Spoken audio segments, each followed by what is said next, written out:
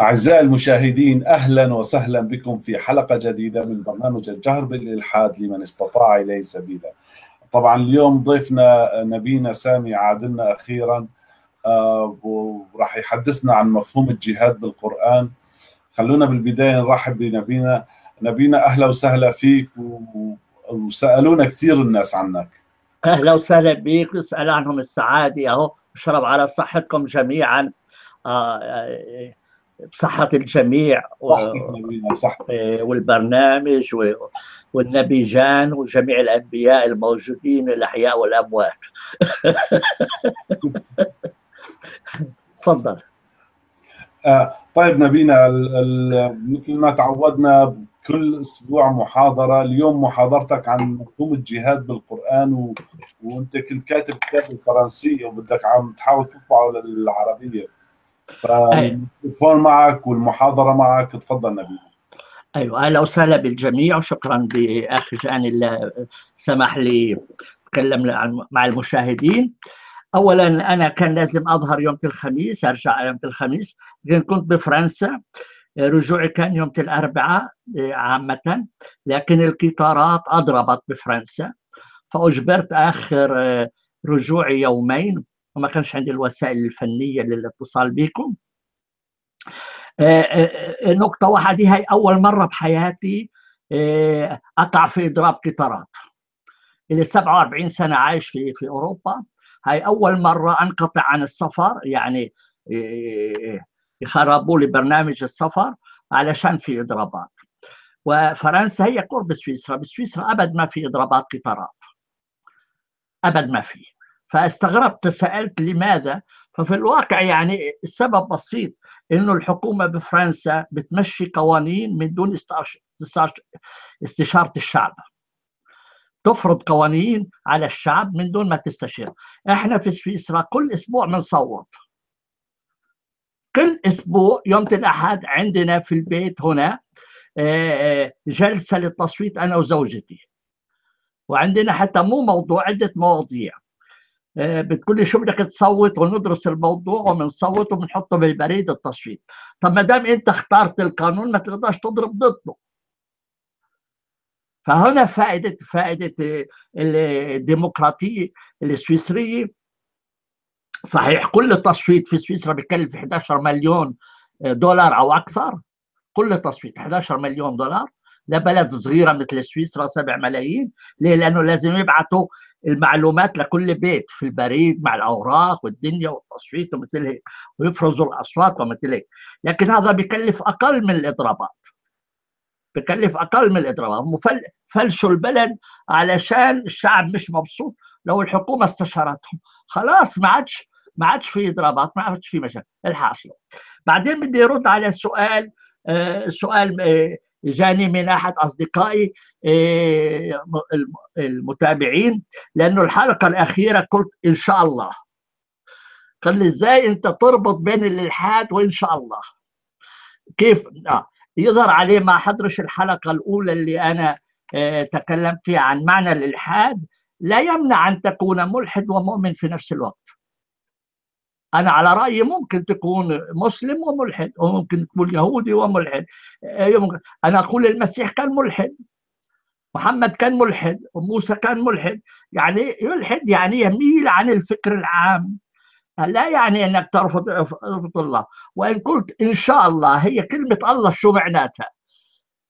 كلمة الله جاي من اللي هو. يعني مهما كان. الله معناته اللي هو.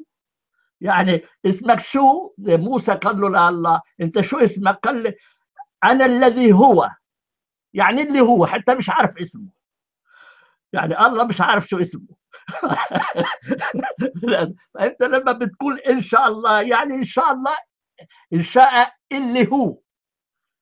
يعني مهما كان ممكن تكون قوة الطبيعة ممكن تكون الإله زيوس تاع الرومان ممكن يهوى تاع اليهود ممكن الله تاع تاع المسلمين. يعني كلمة الله لا تعني بالضرورة كما يعتقد المتدينون يعني مهما كان.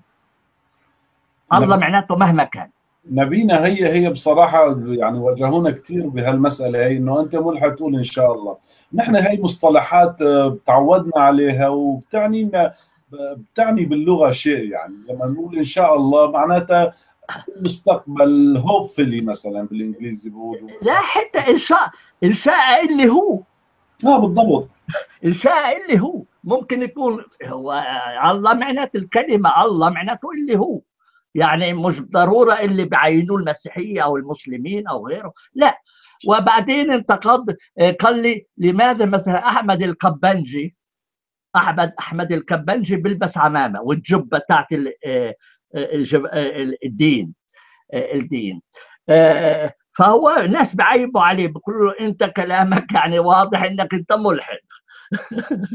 فأنت شو لابس لي كل الملابس الدينية هذول فواحد هو واحد احكي لك قصه واحد بيعرفه شخصيا اتصل بي قال له أحمد الكبانجي بيقول للرجل هذا بيقول له ابدا لا تعرف نفسك إنك ملحد. لأنه كلمة ملحد يعني سلبية في المجتمع. فقال له سأله لأحمد الكب أحمد الكب سأل لهذا الشخص صديقه قال له هل أنت تؤمن بالحب؟ قال له آه امن بالحب. قال له شفت أنت مؤمن. اذا أنت مؤمن. حتى الملحد هو مؤمن بس مؤمن بمعتقداته. مو بالضروره يعني أنا لما أقول ملحد أنا دائما بقول أنا ملحد مسيحي. فالناس مش عارفين إزاي يربطوها. المشكلة لأنه يعني هذا الرجل بضيع فينا.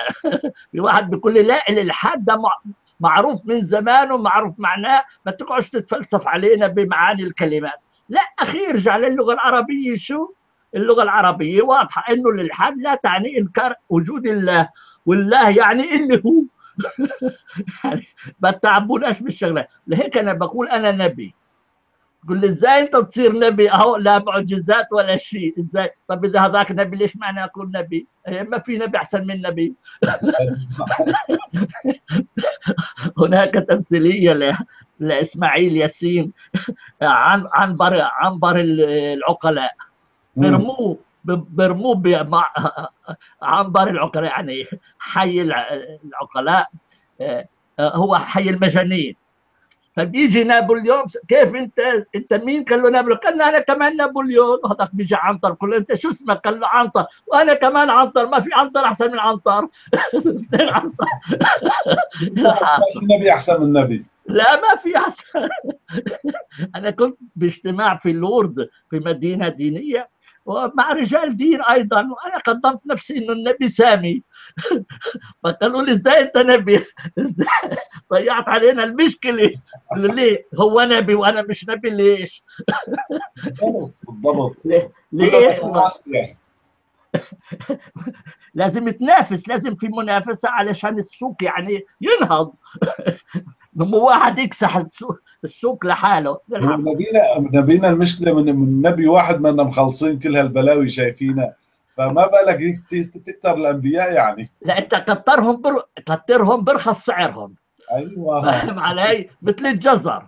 لما بيكتر الجزر بالسوق بصير كل 10 جزرات مليم. إذا بطل هاي الفكرة وراها إنه إحنا كلنا أنبياء. فما تجيش تغلبنا أخي أهو أنت مو أحسن مني. نتكلم على نفس المستوى.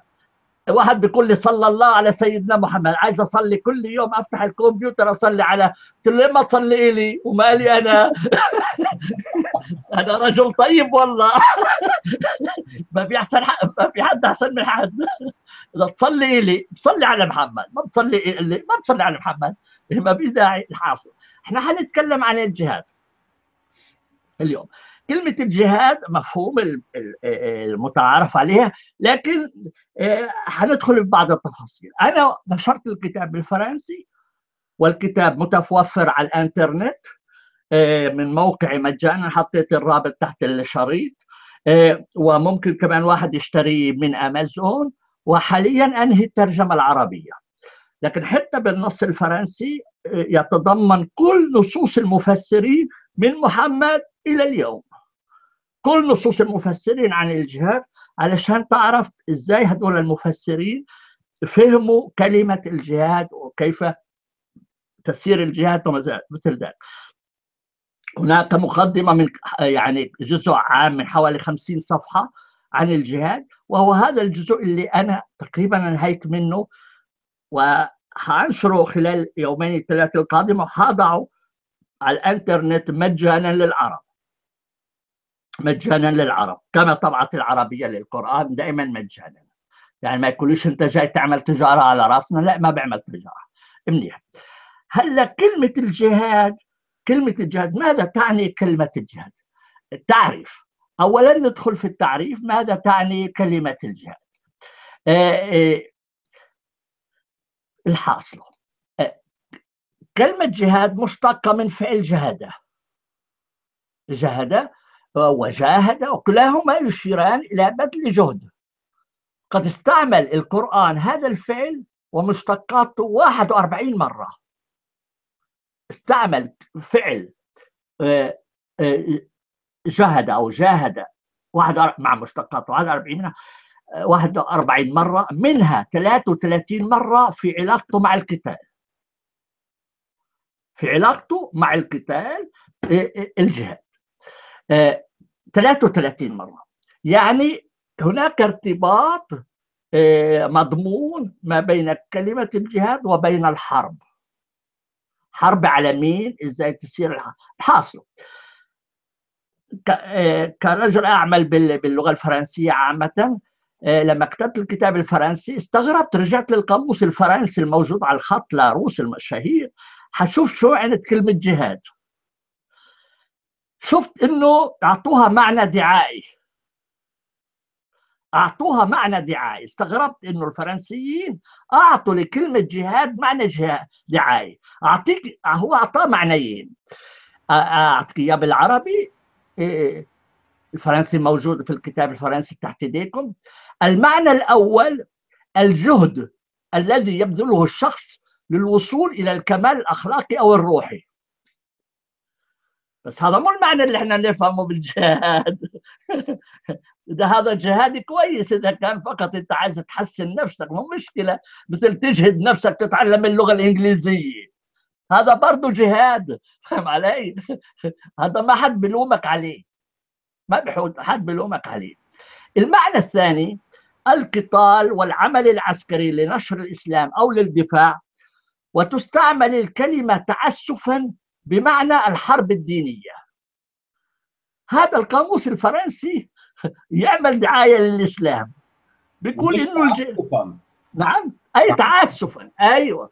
وبيقول لك إنه المعنى الأول هو المعنى الروحي بينما المعنى الثاني والتعسفي إنه هو القتال والعمل العسكري وهذا الحرب الدينية. في الواقع المعنى الأول اللي أعطاه لاروس الفرنسي لا وجود له بالقرآن. لا وجود له بالقرآن بتاتا. وموجود في الواقع في حديث نبوي مشكوك في صحته. هناك حديث نبوي منسوب للنبي محمد يقول رجعنا من الجهاد الأصغر إلى الجهاد الأكبر. يعني إيه الجهاد الأصغر؟ هو الحرب. والجهاد الأكبر يعني الجهاد ضد النفس. يعني شهوات الشخص. فسمى الجهاد ضد الشخص نفسه الجهاد الأكبر. والجهاد الحربي هو الجهاد الأصغر. ولكن هذا الحديث تقول فتوى السعودية لا أصل له. هذا الحديث لا أصل له. علي؟ آه ملهوش. وأنا شفت كل كتب التفسير ونجد هذا الحديث في تفسير لمفسر صوفي من توفى عام 1072 يعني 400 سنة بعد محمد. فاهم علي؟ يعني اخترعوا حديث 400 سنة بعد محمد يقول رجعنا من الجهاد الأصغر إلى الجهاد الأكبر. وهذا ليس مفسر عادي يعني الطبري ما جابهوش. كل المفسرين الكبار ما جابوا إلا هذا الصوفي وبنجده بعدين في تفسير لاحق من توفى المفسر آخر 1880 يعني قبل قرنين. وهو برضه صوفي. يعني هاي الجملة بتسمعها كثير في الغرب بقول لك لا الجهاد يعني هو جهاد الأكبر. بقول لك لا عزيزي الفتوى السعودية بقول لك هذا الحديث لا أصل له. لا أصل له. وثانيا لا غير موجود في كتب التفاسير إلا في القرن الحادي عشر أو القرن التاسع عشر. يعني بعد ألف سنة من بعد ألف أكثر من ألف سنة من وفاة النبي محمد. على كل آه، وفي حديث للنبي محمد بيقول ما من نبي بعثه الله في أمة قبلي إلا كان له من أمته حواريون وأصحاب يأخذون بسنته ويقتدون بأمره ثم إنها تختلف من بعدهم خلوف يقولون ما لا يفعلون ويفعلون ما لا يؤمرون فمن جاهدهم بيده فهو مؤمن ومن جاهدهم بقلبه فهو مؤمن ومن جاهدهم بلسانه فهو مؤمن وليس وراء ذلك الإيمان حبة خردل. النبي عرف بيقول إنه يعني الجهاد بيكون بثلاث وسائل. باليد باللسان باليد بالقلب وباللسان. فإيه معنى إنك أنت إيه معنى إنك تجاهد بقلبك؟ هو إنك تبغض العدو. بغض العدو يعتبر جهاد.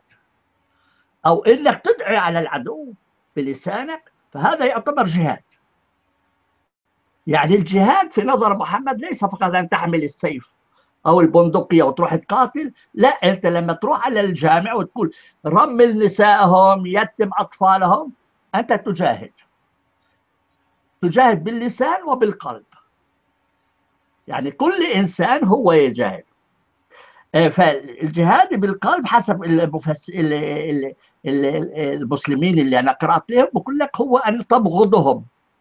وهناك حديث نبوي آخر بيقول أفضل الجهاد كلمة عدل عند سلطان جائر. وهناك حديث ثالث بيقول الساعي على الأرملة والمسكين كالمجاهد في سبيل الله. آه, آه لكن اتفقت اتفق المدارس الفقهية اتفقت المدارس الفقهية الأربعة عند السنة على إنه كل مرة استعملت كلمة جهاد تعني الحرب. كل مرة استعملت كلمة جهاد تعني الحرب. القرآن في الواقع لم يستعمل فقط كلمة جاهد لم يستعمل فقط كلمة جاهد هناك استعمل مثلا كلمة قاتل فعل قاتل حارب نفر خرج ضرب أنفق. ومرة كلمة غزا يعني لم يكتفي فقط بكلمة جاهدوا الكفار مثلا أو مثل هيك لا ده استعمل عدة كلمات. ونجد في القرآن عبارة تقول وجاهدوا في سبيل الله أو وجاهدوا في سبيله. وجاءت هذه العبارة أكثر من ستين مرة. هذه العبارة جاءت في القرآن أكثر من سبعين مرة. يعني إنه الجهاد الجهاد مرتبط بسبب ديني. الجهاد صار بمعنى آه، آه، ديني. آه، طيب. اللي يقرأ القرآن يشوف أنه هناك آيات مسالمة وآيات عنيفة. فبتدخل تقعد مع واحد داعية إسلامي في الغرب بيقول لك أو مثلا شيخ الأزهر بيقول لك لا إحنا ديننا يدعو للسلام. تدخل مع واحد شيخ آخر الحويني أو غيره وغيره لا الجهاد هو القتال. طب إزاي هو سلام ولا قتال؟ إيه القصة تاعتك هنا بجيب لك آية حسب آه حسب الشخص اللي قاعد قدامه. إذا حاب يدعو للإسلام بجيب له كلام مسالم. إذا عايز يقاتل يجيب لك آيات تقاتل فإيه السبب هيك؟ هلأ الفقهاء المسلمين قالوا هذا التضارب في النص القرآني. سببه إنه فكرة الجهاد تطورت. فكرة الجهاد تطورت. فهناك المفكرين المسلمين لما تتبعوا آيات القرآن وسيرة النبي على صحتك أولا. على صحتك نبينا على صحتك. على صحتك يا سيدي الفاضل فهم قالوا إنه تطور الوضع في الجهاد في أربع مراحل. في أربع مراحل. هذه المراحل ما هي؟ أول مرحلة اللي كان فيها هو في في, في مكة. محمد 610 بدأ رسالته. ما كانش عنده القوة العسكرية. ناس ما كانوش يرضوا منه أو ما يرضوش من أتباعهم قلال بس ما كانوش راضي منهم. قال لهم حتى إن تعدوا عليكم لا تردوا التعدي. لا تردوا التعدي. يعني يكونوا مسالمين. طبعا الحال ما عندهمش الإمكانية يقاتلوا. فقال لهم أنتم خليكم مسالمين. ففي هناك بتقول ادعوا إلى سبيل ربك بالحكمة والموعظة الحسنة. وجادلهم بالتي هي أحسن. شو بدك أحسن من هيك؟ حلو جدا. الله أكبر. خلاص هلا كل الناس حيسلموا بعد هاي ال... هاي هاي الحلقة. على قولة إخواننا المصريين عظمة على عظمة. بالتمام وبعدين ادفع بالتي هي أحسن. السيئات نحن أعلم بما يصفون. ولا تجادل أهل الكتاب إلا بالتي أحسن ولا تستوي الحسنة ولا السيئة. ادفع بالتي أحسن فإذا الذي بينك وبينه عداوة كأنه ولي حميم. جميل جدا. يعني ما حد ما حد يقدر يقول لك ده كلام عاطل أبد. يعني بس أنت لو تشوف التواريخ هدول الآيات بتجدها إنها كلها مكية. كل الآيات هدول اللطيفة ها؟ هي كلها مكية. وهناك آيات بتقول لك إنه محمد والأنبياء الآخرين ما كانوش إلا ينذروا. ينذروا. ما ما, ما بعتهمش الله بالسيف. ناخذ آية. أو لم يتفكروا ما بصاحبهم من جنة إن هو إلا نذير مبين. إن أنا إلا نذير وبشير لقوم يؤمنون وما علينا إلا البلاغ المبين. فذكر إنما أنت مذكر لست عليهم بمسيطر. من جديد كل هذه الآيات مكية. من المرحلة الأولى. فاللي عايز يعمل لك دعاية بيجيب لك الآيات هذول. اللي عايز يعمل لك دعاية وهناك عدد كبير من من الآيات حتى في آية بتقول واصبر ما صبرك إلا بالله ولا تحزن عليهم ولا تك في ضيق مما يمكرون. لكن برضه بنجد آية نجد آية شوي شديدة في في في المكية. فلا تطع الكافرين وجاهدهم به جهادا كبيرا. هذه مكية لكن إيه معناها؟ المنتخب الصادر عن أزهر قال واستمر في دعوتك إلى الحق وتبليغ رسالة ربك وإن قاموا وإن قاوموا دعوتك واعتدوا على المؤمنين فحاربهم وجاهد في ذلك جهادا عظيما. لكن هذه آية في الواقع هي هي مكية. لكن وجودها وجود كلمة جهاد كبير وهيك يظهر إنها مش مكانها. الأصل هي مكية. وفي مرحلة المكية هناك حديث للنبي محمد يقول فيه مهددا قبيلته بقول لهم يا معشر قريش والذي نفس. نفس محمد بيده لقد جئتكم بالذبح ده في العصر المكي وهذا الحديث تردده داعش ومجموعات إرهابية أخرى لتبرير قطع الرؤوس معارضية والاقباط والأجانب وغيرهم فهم علي؟ يعني المرحلة الأولى كانت نوعا ما مسالمة لكن تخللها يعني لحظتين يعني الحديث هذا الخطير والآية اللي إحنا ذكرناها. المرحلة الثانية المرحلة الثانية إنه بيقول لهم إذا أنتم تعدوا عليكم ردوا على التعدي. قال له في الأول قالوا إذا تعدوا عليكم اصبروا. المرحلة الثانية قال لهم إذا تعدوا عليكم ردوا على التعدي. وهذا وهي أعطيك هلا آيات. آيات هي مدنية. يعني خلاص صار عنده سلاح. واضح إنه عنده سلاح. أذن للذين يقاتلون بأنهم ظلموا وإن الله على نصرهم لقدير. الذين أخرجوا من ديارهم بغير حق إلا أن يقولوا ربنا الله ولولا دفع الله الناس بعضهم ببعض لهدمت صوامع وبيع وصلوات ومساجد يذكر في اسم الله كثيرا. ولا ينصرن الله من ينصره. إن الله لقوي عزيز. الله قوي عزيز. آه. فاذا قاتلوك يقاتلون آه، آه، أذن لهم أن يقاتلوا. أن يقاتلوا. طيب. هذا إذن ليس إجباري. المرحلة هون فقط إذن. آذن لك ترد. مش مجبور. بس يعني آذن لك. هلا المرحلة الثالثة؟ قال لهم يجب أن ترد. المرحلة الثالثة؟ قال لهم لا. الآن إن اعتدوا عليكم يجب أن ترد. في الآية هاي قال له أذن للذين يقاتلون.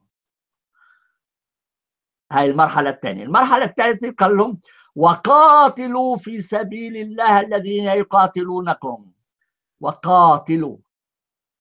وبضيف ولا تعتدوا. يعني إن قاتلوكم يجب أن تقاتلوا ولكن لا تعتدوا. خليكم يعني متهاونين فاهم علي؟ لسه لطيف. إن الله لا يحب المعتدين ولكن شو بضيف؟ واقتلوهم حيث حيث ثقفتموهم واخرجوهم من حيث أخرجوكم والفتنة أشد من القتل. ولا تقتلوهم عند المسجد الحرام حتى يقاتلوكم فيه. فإن قاتلوكم فاقتلوهم كذلك جزاء الكافرين. فإن انتهوا فإن الله غفير رحيم. يعني إذا هم بطلوا يعتدوا عليكم ما تعتدوش. لكن لكن إيه معناها؟ إيه معناها؟ هنا هنا العجائب هنا العجائب. بيقول لك الفتنة نرجع للكلمة الفتنة أشد من القتل. إيه معنى الفتنة؟ الكلمة الفتنة بتيجي كثير مرات في القرآن.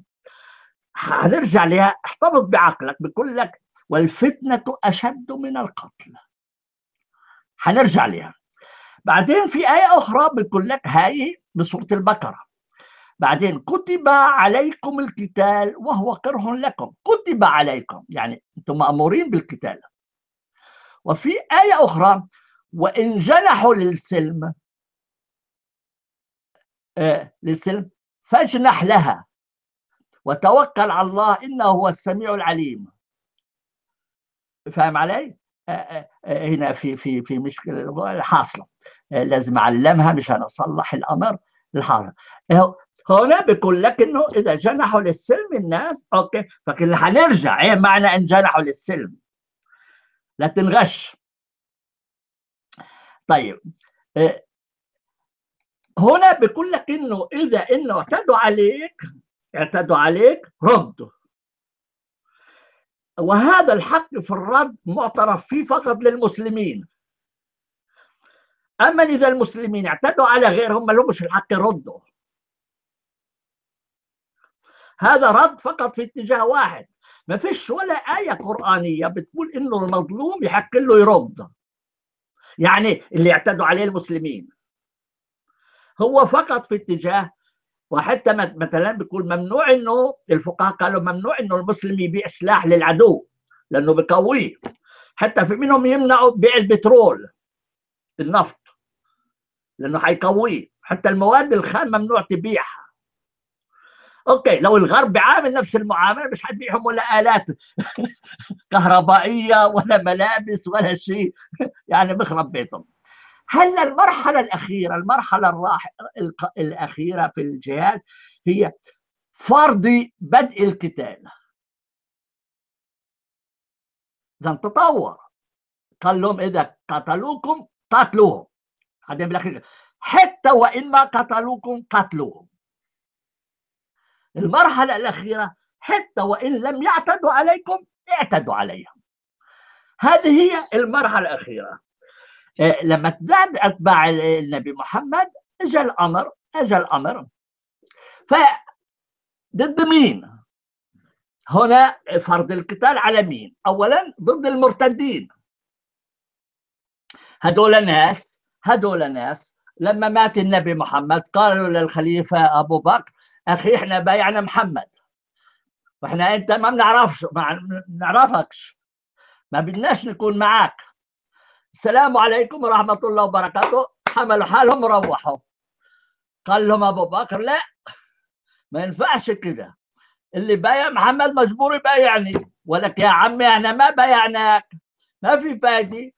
سنة كاملة حرب ضدهم. حتى يجبرهم يرجعوا للإسلام. هدول ما اعتدوا. كل ما هنالك عندهم بيقولوا إحنا يا أخي ما بنعرفكش. مين أنت؟ محمد توفى الله يرحمه. وانت من وين جايب طالع لنا بالسحبه فاهم علي؟ لا مش عايزينك إحنا. لا إلا مجبورين تكونوا معي.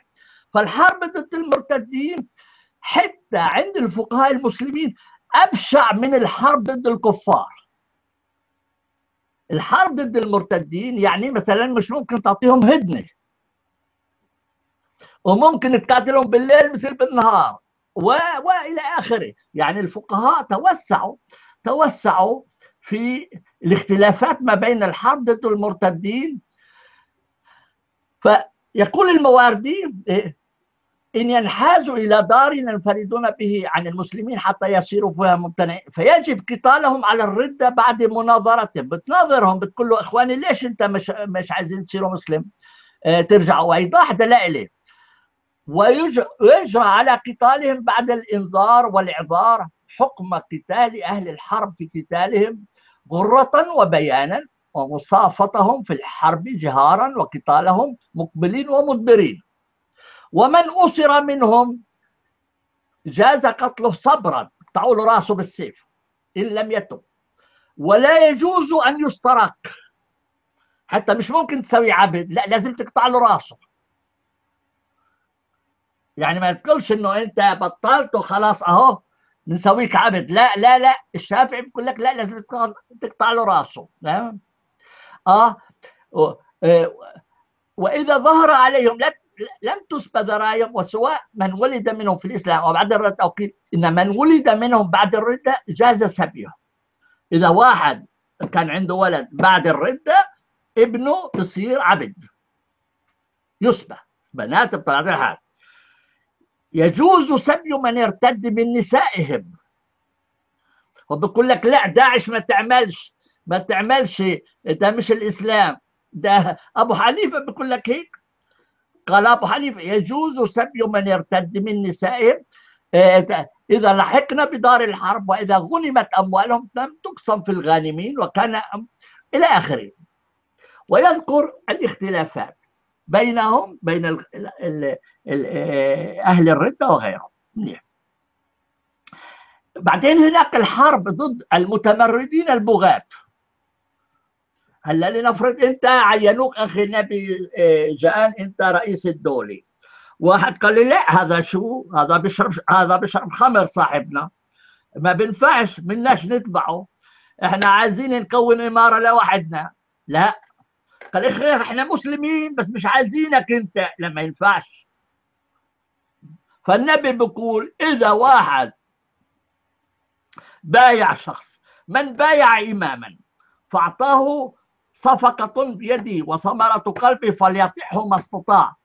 فإن جاء آخر ينازعه فاضربوا عنق الآخر. لو واحد تاني اجى على حاله بيقطعوا له راسه. هذا النبي محمد لك فيعني أهو ما هم بايعوا صاحبنا مين؟ أبو بكر البغدادي.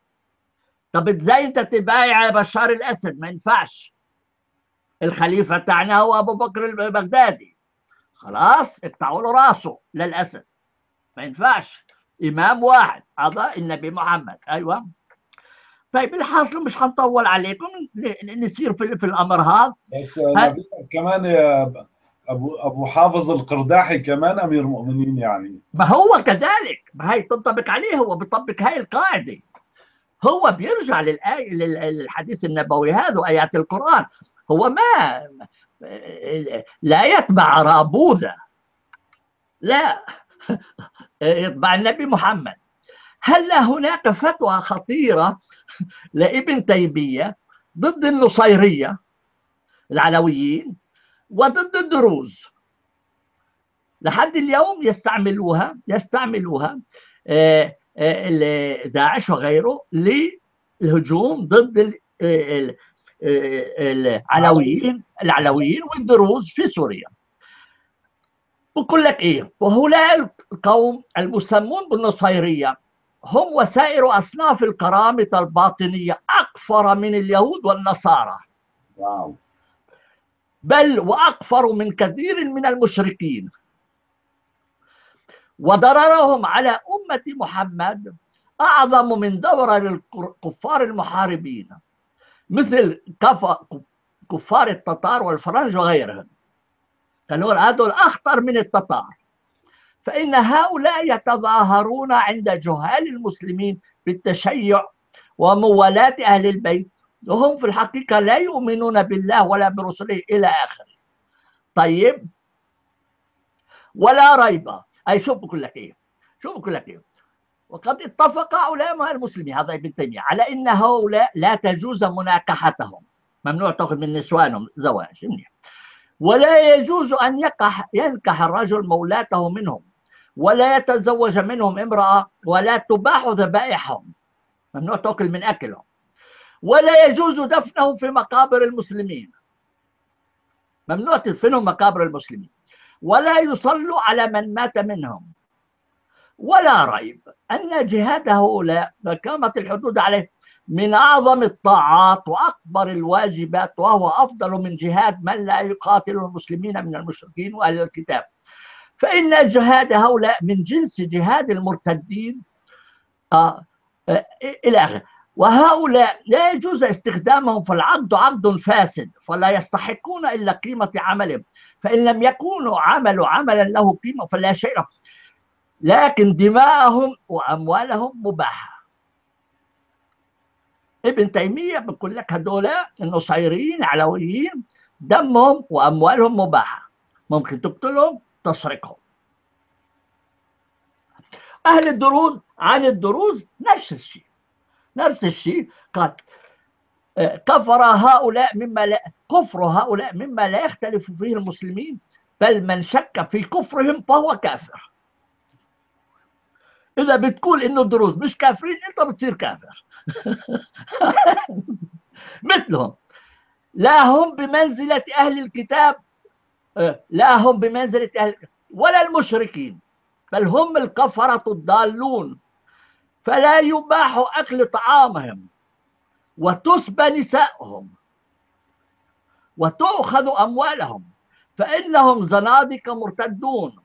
لا تكبر توبتهم بل يقتلون أينما ثقفوا ويلعنون كما وصفوا ولا يجوز استخدامهم للحراسة والبوابة والحفاظ. ويجب قتل علمائهم وصلحائهم لئلا يضل غيرهم ويحرم النوم معهم في بيوتهم. فاهم علي؟ ورفقتهم والمشي معهم وتشييع جنائزهم. إذا علم إذا علم موتها ويحرم على ولاة الأمور المسلمين إضاعة ما أمر إلى آخره. يعني هذول لا تقدر لا تصاحبهم ولا تواكلهم ولا تتزوج منهم ولا تدفنهم ولا ولا حاصل هلا هذول الجزئين يعني أول جزء هو المرتدين الجزء الثاني هذول البغاة اللي رافضين الحاصل. هلا قتال ضد دار دار الحرب أو دار الكفر؟ في المرحلة الرابعة اللي شفناها إنه الإسلام قال إنه إحنا اللي حتى وين ما اعتدوش عليك ما دام هم كفار يجب أن تقاتلهم آه. آه في المرحلة الرابعة سن القرآن على الجهاد ضد دار الحرب أو دار الكفر سموها إما دار حرب أو دار كفر بتبدئة المسلمين يبتدئه المسلمون أنفسهم ويسمح ويسمح لهم من نقد الهند الهدنة إذا كانت غير محددة زمنيا وإن كانت محددة زمنيا لا يمكن شن الحرب إلا بعد انتهاء الهدنة يقول القرآن. وأذن و وأذان من الله ورسوله إلى الناس يوم الحج الأكبر. إن الله بريء من المشركين ورسوله. فإن تبتم فهو خير لكم وإن توليتم فاعلمكم أعلموا أنكم غير معجزي الله. وبشر. الذين كفروا بعذاب أليم. إلى آخره قال واقعدوا لهم كل مرصد فإن تابوا وأقاموا الصلاة وآتوا الزكاة فخلوا سم يعني إن صاروا مسلمين ريح إن ما صاروا مسلمين يجب أن تقاتلوا واقتلوهم حيث حيث ثقفتوا ثقفتوهم واخرجوهم من حيث أخرجوهم. والفتنة أشد من القتل. إيه معنى الفتنة؟ إيه؟ آه. وقاتلهم حتى لا تكون فتنة. ويكون ويكون الدين كله لله. فإن انتهوا فإن الله بما يعملون بصير. أيوة. إيه الحاصل يربط القرآن ما بين الجهاد والفتنة. إيه معنى الفتنة؟ الفتنة يعني أنت بتقول أنت بتعمل فتنة. فعند الفقهاء المسلمين مجرد أنك ما تكونش مسلم هي فتنة. لأنك أنت ممكن تشيع الفساد في البلاد. مجرد أنك مشرك حتى ما عملتش حرب. أنت بتعبد هبل هبل الإله هبل أو ما أعرفش اللات والعزة وما أعرفش مين. لا مجرد إنك أنت مشرك أنت بتعمل فتنة. فيجب القتال ضدك حتى تنتهي الفتنة. بقول لك الفتنة أشد من القتل. لأنه بقول لك إيه؟ إذا قاتلوك قاتلهم. واضح. فبقول لك يعني ترد. قال له بس الفتنة أشد منهم يقاتلوك. مجرد إنك تكونش مسلم تعتبر فتنة بحد ذاتها وهي أشد من أن يقاتلوك. اخطر فإذا قاتلوك حق تقاتلهم ولكن حتى وإن ما قاتلوك فقط بسبب إنهم فتنة يحق قتالهم. فهنا لما بقول لك الفتنة أشد من القتل إلها معنى فني خاص عند الفقهاء وفي القرآن. مجرد كونك أنت مسيحي هذه فتنة. مجرد إنك يهودي فتنة. مجرد إنك مشرك فتنة. الوحيد اللي لا يكون فتنة هو المسلم. وأظن نبينا كمان حتى تارك الصلاة يعني تارك الصلاة بين بين هذا بيعتبر مرتد. هذا يعتبر مرتد عندهم. بس هنا الفتنة تدخل في عدم دخول الإسلام. كل ما لا ينتمي للإسلام مهما كان ديانته فيعتبر يعتبر صاحب فتنة ويجب قتاله. ولهيك النبي محمد كتب رسائل للرؤساء تاعونه كتب مثلا لهرقل هرقل تاع الروم قال له من محمد رسول الله إلى صاحب الروم إني أدعوك إلى الإسلام فإن أسلمت فلك ما للمسلمين وعليك ما علي عليهم فإن لم تدخل في الإسلام فأعط الجزية. طب هرقل ما عملش حرب إيه معاه؟ قالوا لا أنت تدخل الإسلام ما تحبش تدخل لازم تدفع الجزية إلي. فاهم علي؟ فإن الله تبارك وتعالى يقول قاتلوا الذين لا يؤمنون بالله ولا باليوم الآخر وليحرمون ما حرم الله ورسوله ولا يدينوا دين الحق من الذين أوتوا الكتاب حتى يعطوا الجزية عن يد وهم صاغرون وإلا فلا تحل بين الفلاحين وبين الإسلام أن يدخلوا فيه أو يعطوا الجزية، يعني ما تمنعش ناس يدفع الجزية. طيب كتب إلى مثلا آآ عامل كسرى في البحرين، شو بقول له؟ كتب له بقول له من محمد رسول الله إلى المنذر بن ساوى سلام على من اتبع الهدى. أما بعد فإني أدعوك إلى الإسلام فاسلم تسلم. يجعل الله لك ما تحت يدك. واعلم أن ديني سيظهر إلى منتهى الخف والحافر. يعني مطرح ما الجمال والخيل بتدوسه حيكون إلي كتب مثلا لشيخين في عمان سلام على من اتبع الهدى. أما بعد فإني أدعوكم أدعوكما بدعاية الإسلام. أسلما تسلما. تهديد. إذا تسلموا تسلموا. لما بتسلموا ما فيش سلام. مش هتسلم فاهم علي؟ فإني رسول الله إلى الناس كافة لأنذر من كان حيا ويحق القول على الكافرين. فإنكما إن أقررتما بالإسلام وليتكما وإن أبيتكما وإن أبيتما فإن ملككما زائل وخيلي تحل بساحتكما وتتظهر نبوتي على ملككما. تهديد واضح. لهدول بعمان. هو صاحبنا عايش في المدينة. شو جابوا من المدينة لعمان. لا قال له يا بتدفع الجزية وبتسلم أو هيك وإلا أنا حاجعتل بلدك فاهم علي؟ فقسموا فقسموا المسلمين المسلمين العالم إلى قسمين دار إسلام ودار حرب. دار الحرب يجب يوم من الأيام أن تخضع للإسلام. كل العالم حيكون يوم من الأيام تحت سيطرة الإسلام. وحتى مودودي مودودي بيقول لك وهو قاضي القضاة في بغداد بيقول لك الحرب لا تكف إلا في حالات الاستثنائية التالية. مش ممكن توقف حرب إلا في الحالات التالية. أن يسلموا فيصير لهم بالإسلام ما لنا وعليهم مع وعليهم ما علينا. أوكي. أن يظفره الله أن يظفره الله تعالى بهم مع مقامهم على شرك فإذا هو ما أسلمش تنتصر عليهم هم مشركين. فتسبى ذراريهم وتغنم أموالهم ويقتل من لم يحصل في الأسر منهم. هيقول لك لا عشان ما تعملش ده مش الإسلام. ده قاضي القضاة بيقول لك هيك. أنو ده؟ أعطيني أعطيني شيء عملته داعش ما عملوش محمد ما عمله الخلفاء لم تقل في كتب الفقه المعتبرة وكتب التفسير. ما تقوليش ده ده مؤامرة صهيونية مؤامرة أمريكية مؤامرة روسية. لا ده المواردي بيقول لك هيك طيب أيوه. أو أن يسترقهم يسترقهم ويجري عليهم أحكام الرق من بيع وعتق بصير يبيع بيهم مثل ما عملوا باليزيديين.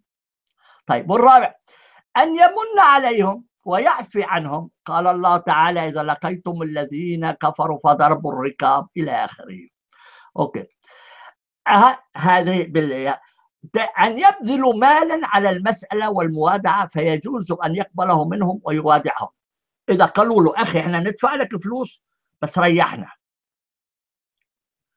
مسموح. أن يسألوا الأمان والمهادنة فيجوز أن تعذر أن تعذر الظفر بهم. إذا تعذر الظفر بهم وأخذ المال منهم أن يهادوا مع المسالمة في مدة.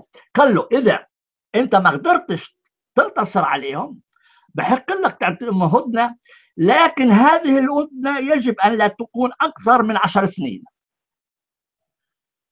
ممنوع تعمل سلام مع الكفار أكثر من عشر سنين. وإذا زاد عن عشر سنين تعتبر لاغية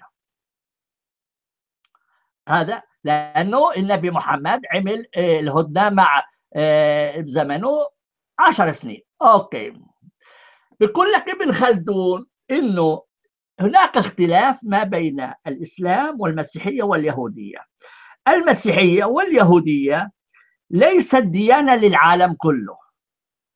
ولهيك لا يحق لهم القتال إلا للدفاع عن نفسهم. أما الإسلام بما أنه دين عالمي يحق له أن يقاتل الجميع ليدخلهم الإسلام رغبوا أم رفضوا. ابن خلدون بيقولها بكل وضاحة بكل وضوح يعني ما في مشكلة. قال له إنه طوعا أو قهرا. فاختلاف بين المسيحيين واليهود والإسلام إنه المسلمين يحق لهم أن يشنوا الحرب بينما اليهود يعني هجوم هجوم. بينما اليهود والمسيحيين لا يحق لهم إلا الدفاع عن نفسهم. طيب. هلأ أنت لما بتعمل حرب أخي لازم تعدل له لازم تعدل الحرب. ما تقدرش فقط تحمل السلاح وتمشي. اولا أنت لازم تقلب الشعب لأنه لازم وراك الشعب يوافق على الحرب. يعني ما تقدرش إنجلترا بكرة تقول أنا بكرة بدي أشن الحرب على على فرنسا. روح يا جيش احتلوا باريس. الشعب مش هيرضى. يقول لك ليه؟ أنت ما لهم فرنسا أنت لا ليه تروح تحارب فرنسا.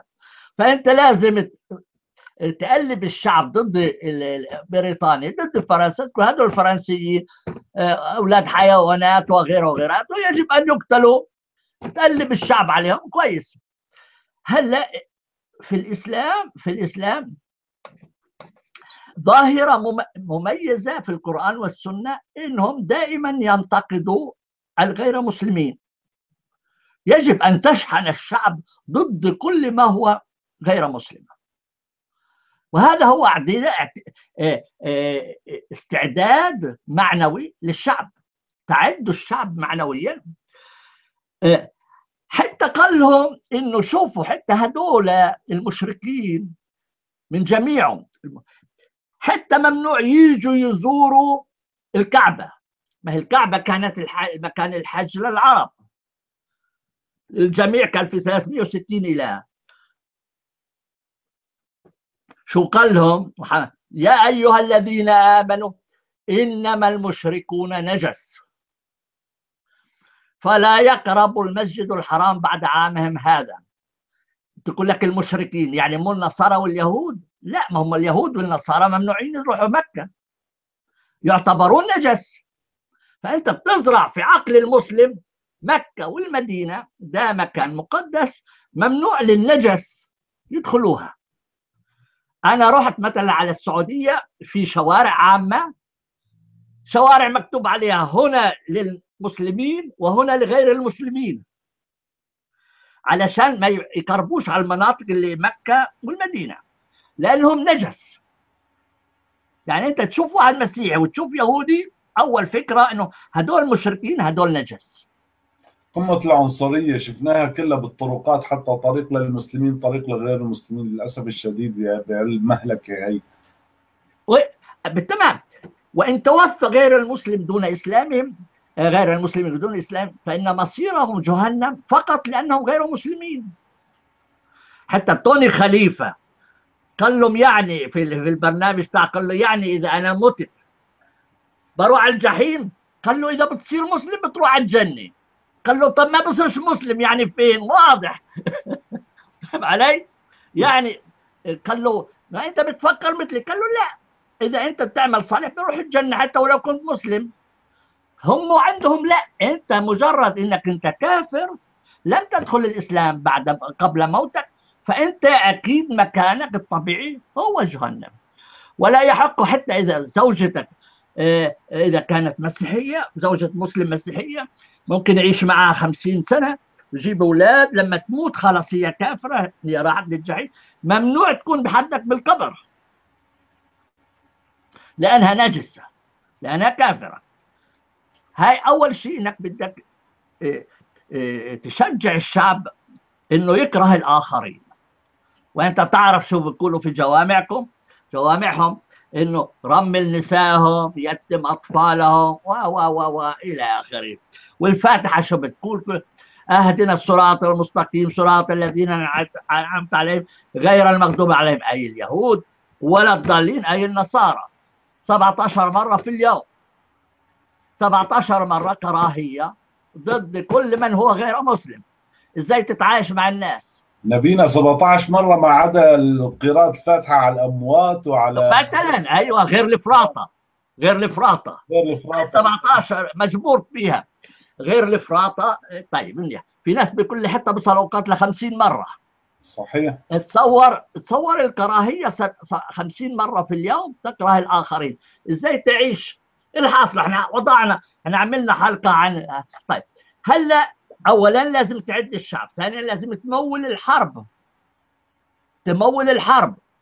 آه فالقرآن دائما بيقول آه الزكاة الزكاة والصلاة مربوطة مع سوا. والزكاة جزء سهم من الزكاة هو سبيل الله في سبيل الله. فجزء من الزكاة بروح للحرب.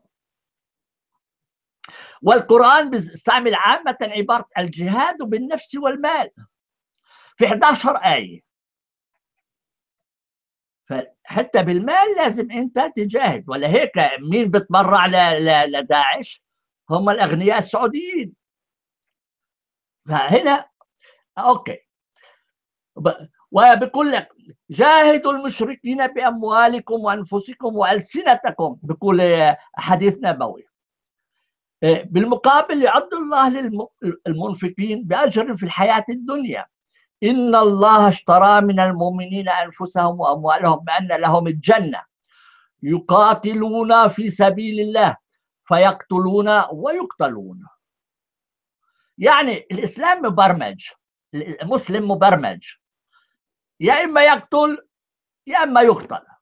ما فيش حياة مسالمة.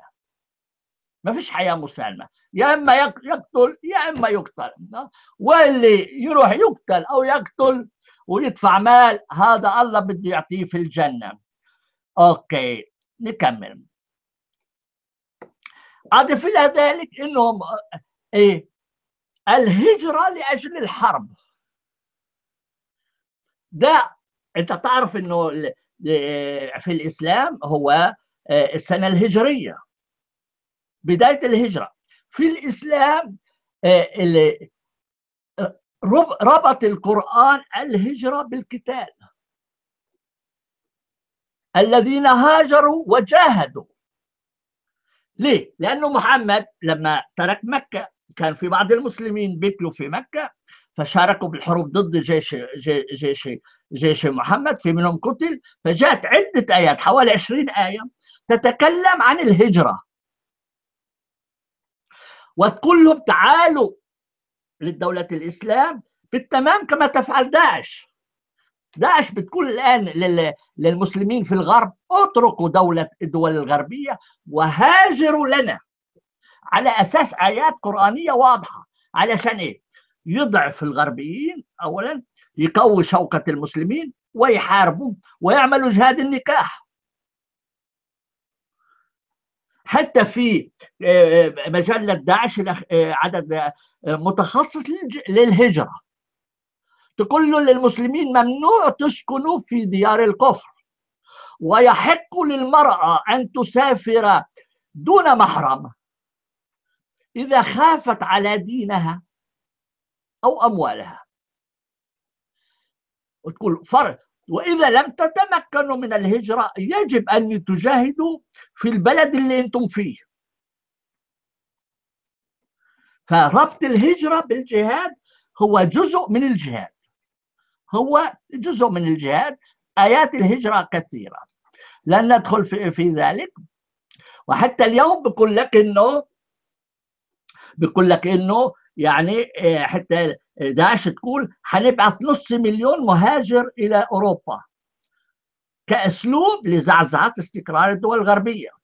وداخلهم يكون في إرهابيين وما شابه ذلك لعمل الحرب داخل الدول الغربية. هلا الهجرة جزء من إعداد للحرب. بعدين إعداد المقاتلين. لازم تعد المقاتلين. يعني المقاتلين كلهم أهو عدوا نفسكم. هل كل مقاتل يجب أن ي... كل شخص يجب أن يقاتل؟ هناك فرض عين وفرض كفاية. بيقول لك إذا بلدك تعدي عليها فهي حرب عين. يعني كل شخص يجب أن يقاتل. إذا ما كانش تعد عليها فيعني بصير فرض كفاية. يجب يعني إيه؟ إنه كل دولة مسلمة حسب الشريعة الإسلامية يجب أن تعد للجهاد على الأقل مرة واحدة في السنة. مشان تغزو الدول الأخرى. مو كل المسلمين يروحوا لا. يعني لازم مرة في السنة تعد نفسك يا رئيس الدولة إنك تغزو دولة أخرى. هذا على الأقل مرة واحدة. في ناس بيقول لك لا إذا قويت شوكة المسلمين ومش محتاجين يعني ممكن نخليها كل سنتين أو ثلاث مرات. بس هنا الجهاد بلا عدوان. من دون ما يعتدوا عليك يجب أن تعدوا للجهاد. حتى مثلا حزب التحرير حزب التحرير الإسلامي في الدستور تاعه الوضع ممنوع عمل معاهدة ترسيم الحدود. لأنه اذا ترسم الحدود بين الدول ما تقدرش تروح تقطعها مشان تعمل جهاد. معاهدة السلام مع الدول الأخرى ممنوعة. لأنه إذا بتعمل سلام ما تقدرش تعمل جهاد. وإلا أنت بتوقف مشروع الجهاد. الجهاد هو أن تغزو دول الآخرين لفرض الإسلام. وهلا انت غزة. فبقول لك بكل وضوح حزب التحرير انه إحنا بنقول يا ناس مثل ما قال محمد ل... للرسائل اللي قرأناها أسلموا تسلموا تسلموا. إذا إذا أنتم عايزين تسلموا خير وبركة. ادفعوا لنا. منيح. مش عايزين ادفعوا الجزية. تدفعوش الجزية حنسبوا نسائكم. بكل وضوح قالها. عندي فيديو اشرطه لحزب التحرير وأشرطة شيعية بتقول نفس الكلام. نفس الكلام إنه إحنا بنخيرهم بين ثلاثة إذا كانوا أهل كتاب. إذا ما كانوش أهل كتاب يخيروا بين الإسلام والقتل. يعني الهندوس ما عندهم مش إمكانية إنهم يدفعوا الجزية. يا إما الإسلام يا بيقطعوا لهم رؤوسهم. فاهم علي؟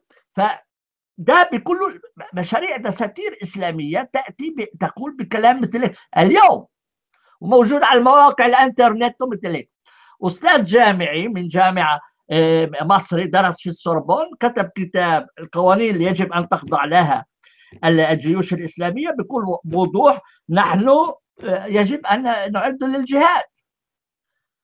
يجب أن نعد للجهاد وهذه الخيارات التي نعطيها. ويحق لنا استرقاقهم. نعملهم عبيد. وهذا الكتاب طبع في مصر وتعرف كل كتاب ديني في مصر. لا يصدر إلا بإذن من الأزهر. إما ضمني أم رسمي. فيعني الكتاب متوفر وأنا أصلا صورته وحطيته على الإنترنت. ممكن تحمله. أنا أعطيكم الرابط بعدين. أوكي. هلأ إيه الحوافز الحوافز للمقاتلين. كلهم أنتم إذا أنتم دخلتوا الحرب آه، بطبيعة الحال لكم الغنائم والسبايا. وفي إذا متوا بتروحوا بالحوار الحوريات. وإذا أنت أذنبت في حياتك تغفر لك جميع ذنوبك. إلا إذا كان دين إذا كان دين لا تغفر لك. اما فلهيك الناس بيكونوا هذا غير مسلم. واحد بيكون عامل السبعه وذمتها في الدول الغربية. علشان الله يسامحه كله له إيه؟ أفضل طريقه أنك تروح تحارب. فهتغنم هتسبي وإن متت بتروح على الجنة بتاخذ حواري حوريات. فاهم علي؟ فالإسلام يشجع على القتال يا بيعدوا يا الأرض يا الجنة. هذه حوافز للمقاتلين. فهناك كثير حراميه سراقين آه، مجرمين مسلمين موجودين في الغرب علشان الله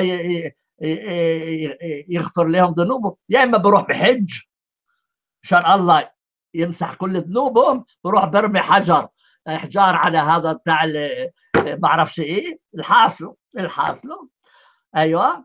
أو بروح يقاتل. وهو بروح مطمئن إنه والله أنا عملت اللي علي. آه، أنا عندي آه، شفت حلقة واحد كان إمام في في إمام في في سجن آه، سجن هنا في سويسرا. بيلتقي بمجرمين مسلمين بيقول لهم أنت عايز إنه الله يغفر لك؟ قال له إيه؟ إزاي؟ قال له روح قاتل بأفغانستان. بقولها بكل وضوح.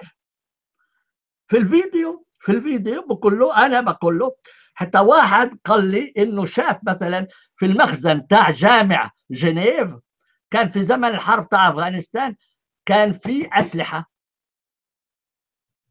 كان مخزن أسلحة في القاعة التحتانية لجامع جنيف. مخزن جنيف فاهم علي؟ واحد قال لي أيوه مخزن أسلحة الحاصل. okay. واحد قال لي إنهم وهو شافهم شاف الأسلحة في مخزن تاع جنيف. آه، علشان تشوف يعني الحوافز للمقاتلين. okay. سير المعارك لن ندخل فيها. المصير. ما هو مصير اللي الذين يسلموا إذا أنت أسلمت خلاص.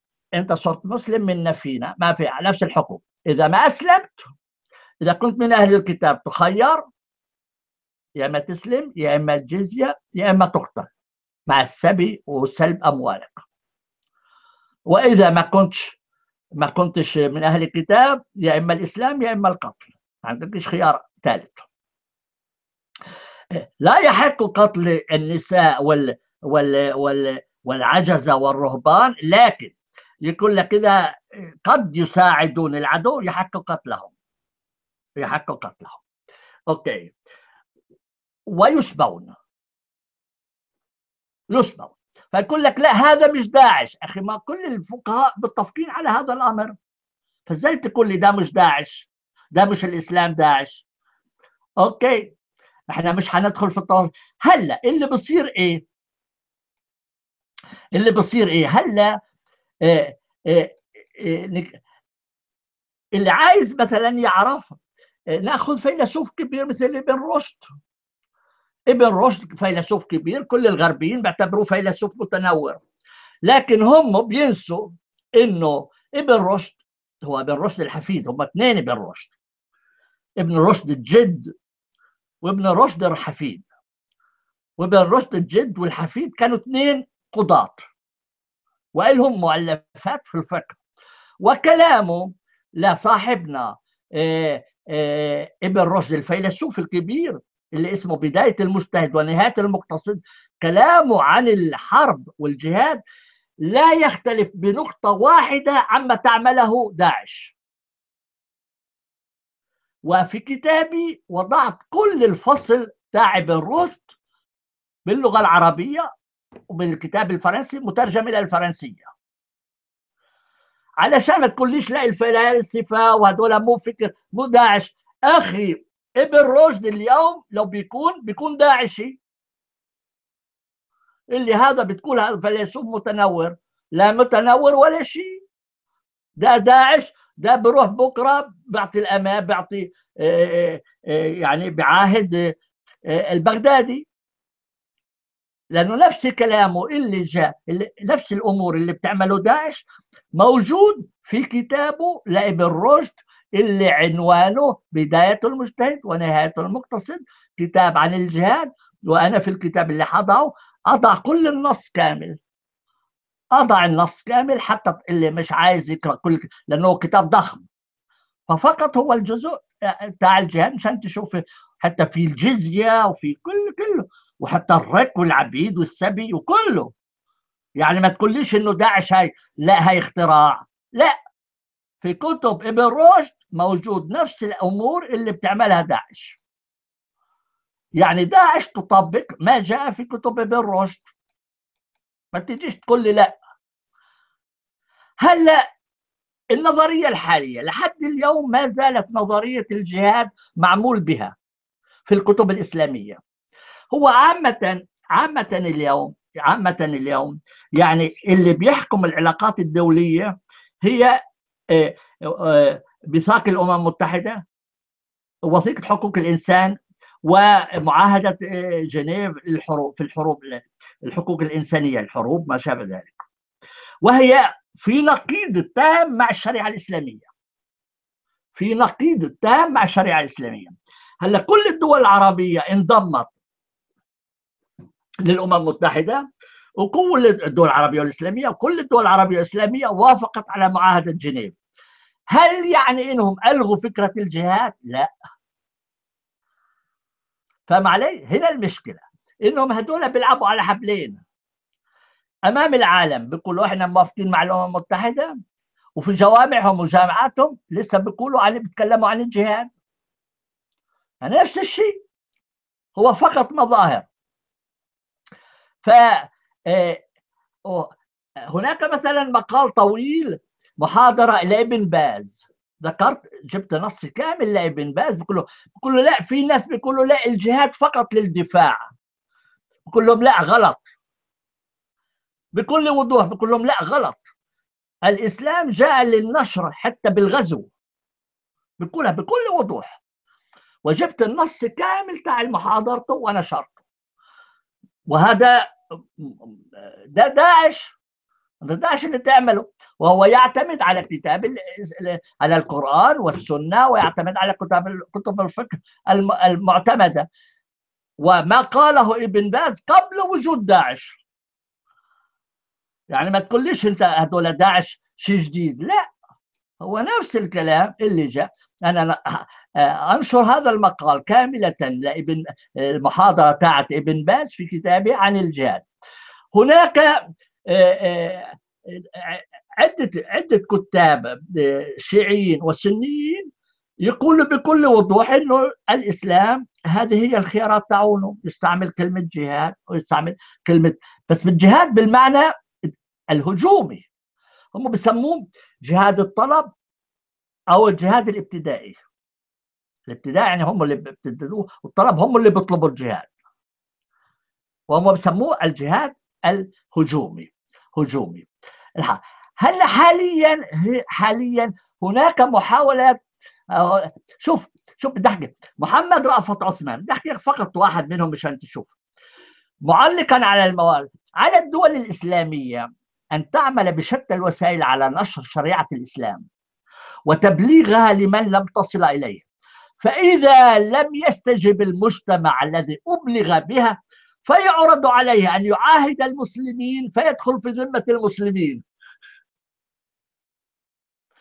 ولجميع أفراد هذا المجتمع الذي رفض الإسلام ودخل في ذمة المسلمين ما للمسلمين من حقوق عليهم من على عليهم من على ما على المسلمين من واجبات ما عدا بعض الأمور وهم مستثنون منها. أوكي. يقول لك يعني إحنا لازم نبلغ الناس إذا ما قبلوش الإسلام لازم يدخلوا تحت ذمتنا. فإذا رفض هذا المجتمع الأمرين السابقين وهما الإسلام أو الدخول في ذمة المسلمين يعني يدفع جزيه فلم يبقى إلا طريق الحرب. لأن الشريعة الإسلامية لا بد أن تبلغ إلى كل المجتمعات والحرب هنا طريقا لا يختاره المسلمون. وإنما يلجؤون إليه باختيار المجتمعات غير الإسلامية التي رفضت الإسلام أو الذمة. يعني إذا مثلا هلأ بيجي المسلمين بيقولوا لإنجلترا يا إنجلترا صيروا مسلمين منا شو يصير طب خلاص ادفعوا جزية. منا ندفع جزية؟ خلاص ذنبكم على جنبكم نعمل الحرب الغلطة غلطتكم. ما دام أنتم رفضتوا الحق رفضتوا الإسلام ورفضتوا الجزية ما بقي أمامنا إلا نحاربكم. وما تقولوا إحنا اللي اعتدينا. أنتم المعتدين أنتم أصحاب الفتنة. فاهم علي؟ الفتنة. الفتنة أشد من القتل. هذا أستاذ جامعي ومتصل بالأزهر وله كتابات وهذا نص حرفي منه. نص حرفي منه. يعني ما تقوليش ما يقولوليش لا أنت شو عامل إيه؟ من وين جايبه من عندي؟ لا هذا ما زال حي يرزق. منيح. هناك أستاذ جامعي قلت لك تعال خريج السوربون. ذكرت كل المواد المهمة الخاصة الخاصة بالجهاد.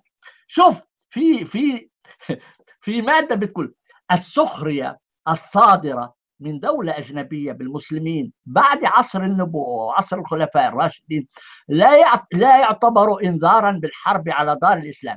لكن السخرية بعصر النبوة أو عصر الخلفاء الراشدين أو بفريضة مجمع عليها من فرائض الدين يعتبر انذارا بالحرب إلى سائر المسلمين. اذا انتقدت محمد تعتبر هذا إعلان حرب. فيحق للدول الإسلامية أن تحاربك. فاهم علي؟ آه أوكي. فيعني واضح الأمر واضح الأمر آه آه آه واضح الأمر إيه اللي بيكون هناك واجب شوف هنا حزب التحرير. لن لن لن نطيل عليك في في دار الإسلام ودار واجب الدفاع نكمل واجب بدء بدء واجب بدء الحرب واجب بدء الحرب. شوف في في المجلس الاسلامي أصدر أصدر مشروع دستور بيقول الجهاد فريضة محكمة. الدفاع عن النظام عن النظام الإسلامي وعن أرض الإسلام واجب على كل مسلم. تقوم الدولة ببناء قواتها المسلحة وإعدادها أفضل إعداد ممكن بحيث تكون قادرة عددا وعدة على تلبية مطالب الجهاد. إلى آخره الإمام الحاصل الحرب الحرب يعني هنا يقول الجهاد علي جريشة مصر. الجهاد ماض إلى يوم القيامة. إعلاء لكلمة الله. والإعداد له واجب المجتمع والدولة. والقوات المسلحة جزء من الأمة المدربة روحيا وماديا لحراسة الحدود وحفظ النظام. ويجري تدريب أفراد الأمة بما يكفل التعبئة الفورية في أي ظرف وينظم القانون ذلك. okay. يعني الدساتير اللي, اللي عايزين هم يطبقوها بفكرهم تحثوا على الجهاد على القتل. بالتمام؟ كما هو في الفكر الفكر التقليدي عند افيرويس وعند ابن رشد وغيره. هناك أشرطة أشرطة كثيرة هناك أشرطة كثيرة تتكلم عن الجهاد لكن هناك ناس بيقول لك لا إحنا الإسلام لم يكن ابدا معتدي وحتى النبي محمد كل حروب وهي حروب دفاعية وليس هجومية فعايزين يزينوا الإسلام فهم إيش بيروحوا يعملوا؟ بيذكروا آيات بيذكروا آيات من القرآن المكي وبيتغاضوا عن الآيات المدنية أو بيفسروا على طريقتهم. أوكي هناك عدة محاولات عند الشيعة كما عند السنة. هناك شخص واحد شخص في في في سويسرا حتى عمل كتاب في مقال أن الإسلام لم يدعو ابدا إلى العنف ولم يقاتل إلا دفاعا. وهذا المقال وزع على كل البيوت في سويسرا. ولما أنا اتصلت في الصحيفتين اللي وزعت هذا المقال قلت لهم أنا عايز أرد عليه منعوني. يعني هتشوف إزاي الوضع. قلت لهم ليه أنتوا تمنعوني؟ قال إحنا مش عايزين نصب النار على الزيت على النار. أخي انت. انت بتنشر كذب. انت بتنشر دعاية كاذبة. إزاي انت بتسمح بدعاية كاذبة ولا حد يرد عليها ممنوع. ممنوع ترد. العصر. أنا هتوقف هنا. الكتاب عن الجهاد حيكون متوفر خلال عشرة أيام يعني أكبر حد هو عشرة أيام. حيكون الكتاب متوفر. فيمكن يمكن الرجوع له. وإذا عندكم أسئلة أنا مستعد أرد عليها. وأشكر حسن استماعكم. أنا بتشكرك كثير نبينا على المحاضرة القيمة بصراحة يعني و...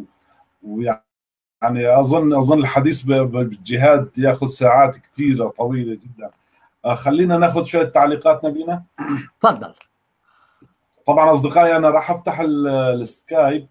بس راح ناخذ شوية تعليقات أظن في في عندي سؤال بيقول أستاذ سامي هل ترى بأن العالم العربي يسير نحو مجتمع لا ديني أم العكس؟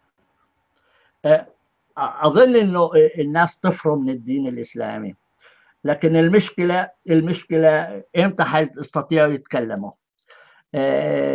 ومن دون كلام من دون تصريح بالأمور ما تقدرش تغير المجتمع هو هنا هو هنا المشكلة. لكن أنا أرى إنه إنه الإسلام هو في طريقه إلى إلى الانتهاء. أنا أرى ذلك وأتمنى ذلك. ليس كناية ليس بغضا بالمسلمين ولكن لصالحهم لأنهم هم أول ضحايا الإسلام في رأيي. ف ما أقدرش أقول للمسلمين يا مسلم روح صير مسيحي. لأنه الدين المسيحي فيه تعقيدات كثيرة. تعقيدات عقائدية كثيرة وأنا لم أدعو أحدا للمسيحية. رغم إني أنا أعتز بمسيحيتي على طريقتي الخاصة بطبيعة الحال لكن الطريق الوحيد اللي بيبقى أمام المسلمين هو الإلحاد وليس إنكار الله بحد ذاته يعني اللي هو بمعنى اللي هو ولكن إنه تخرج من قطيع الجمال اللي سوق حمار مع احترامي للجمال والحمار. رجال الدين بسوقوا الناس قاعدين للمذابح والمسالخ بجردوهم من عقولهم. فالطريق الوحيد اللي أنا أراه للمسلمين يعني هو الإلحاد أو يعني الخروج عن طريق القطيع بهذا المعنى بمعنى اللغوي تاع كلمة الحد تفضل. آه طيب في عندنا كمان سؤال أظن بنفس الإطار هو الملحدين عم بيقول نفس الشخص يقولون أن رواسب التوجهات قبل الإلحاد تكون لها الأثر الكبير في توجه الملحد وتؤثر على الكثير من قراراته ومبادئه. مثلا الملحد الخارج من بيئة أو توجه أو رواسب إسلامية يختلف عن الملحد الخارج من بيئة أو توجه رواسب مسيحية أو ويهودية. آخرون يعتقدون أن مقدار هذا التأثير قد يكون كبيرا آه، بداية بداية ولكنه يصغر مع مرور الوقت مع تكوين وتمتين التوجه الإلحادي للشخص. هل تحمل رأي رايا في هذا الموضوع؟ وما تعليقك على ما يقوله البعض حول مدى تأثير الرواسب في حياة الملحد وتوجهاته؟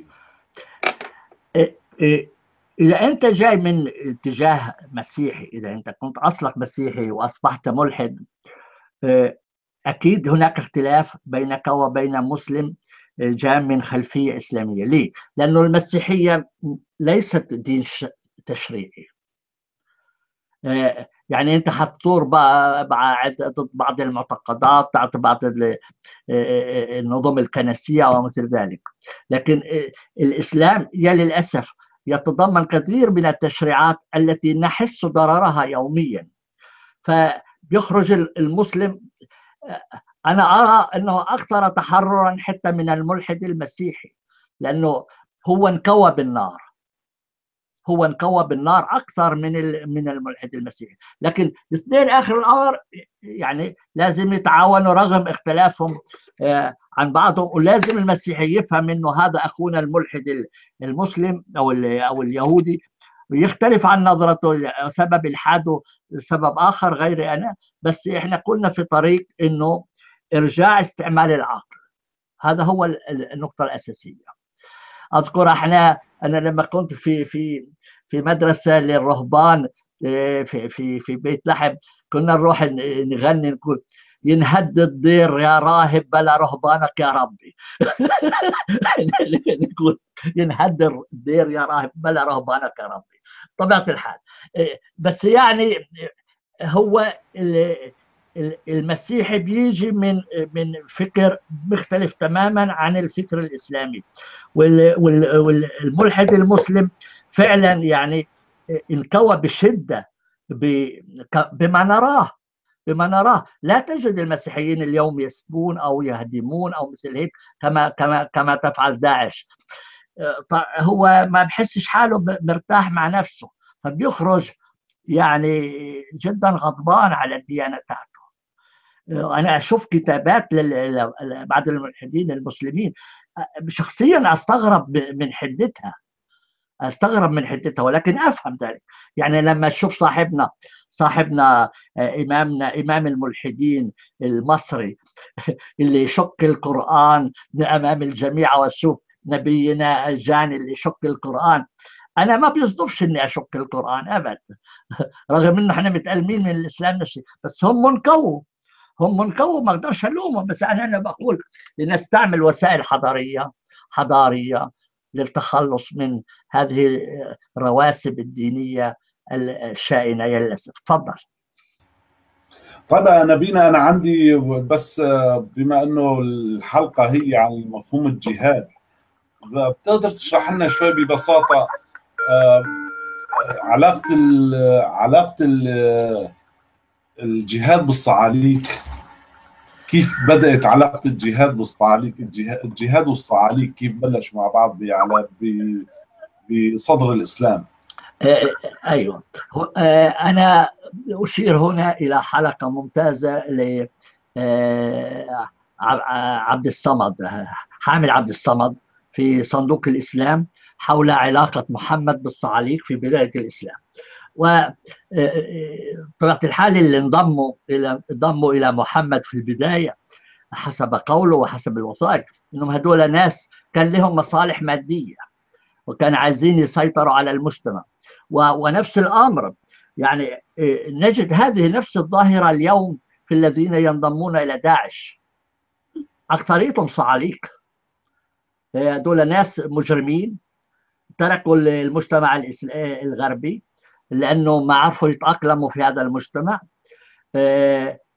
في ناس بيقولوا هذول كان دائما سكير وكده ودائما هيك وهيك وهيك لكن بالآخر الأمر شو شو صار فيه. فهذول يعني حرامية ومثل هيك بروحوا بيرتبطوا في داعش في, في عندهم مصالح مادية في عندهم مصالح أخرى أخرى ومصالح كمان دينية بطبيعة الحال. يعني ممكن نقول إنه الله يغفر لي كل زلاتي واعترفتي فيربط الدين بالمصالح الدنيوية والأخرى. وهذا ما حدث في زمن محمد. يعني ما تقدرش تقول محمد محمد في 12 سنة الأولى اللي هو بشر فيها الإسلام لم يكن له إلا حوالي 100 واحد إن كثرت أتباعه. في 12 سنة 100 واحد. يعني كل سنة كان يكسب 10 أفراد مو أكثر سنة كاملة. إمتى صار صار عنده أعداد كبيرة لما صار يعدهم مين مصلحته؟ مصلحته اللي عايز يتعدى على القوافل، يتعدى على بيوت الناس، يتعدى على النساء الآخرين، فهذول كلهم صعاليك. أكيد أكيد ما تقدرش تقول إنه إنه خالد بن الوليد كان قديس من قديسين السماء، لا ده كان مجرم من درجة أولى. كان مجرم من درجة أولى. عثمان ما تقدرش تقول ده انه كان قديس، لا ده كان صعلوك كبير. كل هدول كان لهم مصالح مادية. أبو سفيان ما تفكر إنه أبو سفيان من يوم لآخر صار قديس؟ لا كان صعلوك قبل انضم لمحمد كصعلوك قال شو يعني ما هي كلمة؟ بصير مسلم وماله. آه اذا إذا بتجيب لي فوائد. إيه صار مسلم. وهنا كثير من الناس أصلا بتحولوا للإسلام اليوم. إما لأنه عقلهم مخلول أو لأنه هناك مصالح مادية. هناك مصالح والقرآن بذاته بيقول المؤلفه قلوبهم المؤلفه قلوبهم. كان يعني واضح في النص القرآني أنا درست درست موضوع موضوع المؤلفه قلوبهم في كتابي عن الزكاة. فكان يعطي 100 جمل لواحد. يا تدخل الإسلام واحد قال له ليه انت بتعطيه؟ هو 100 وأنا 70 ليه ما بصير؟ ما أنا من جماعتك. يعني يتحاور مع محمد كم بده يعطيك جمل علشان ينضم له اقرأ كتابي عن نصوص المفسرين عن عن عن الزكاة اللي أنا نشرتها. وتشوف واحد من سهام الزكاة هو الرشوة. ترشي مين؟ الصعاليك. بطبيعه الحال الصعاليك هذول كانوا كانوا لهم سهم. يعني إذا مثل المافيا مثل المافيا بالتمام إذا أنت بتدخل المافيا آه لك حق في المافيا آه تغنم منهم وبغطوا عن عيوبك ومثل هيك. تفضل. آه طيب معنا اتصال من الأخ أحمد كار. أحمد تفضل أخي أحمد. مساء تحيه طبعا لنبينا سام ولجان يعني حلقة جدا جميلة. تسلم حبيبي تفضل. مرحبا. بس بدي آه بالبدايه أختصر ما قاله آه نبينا سام.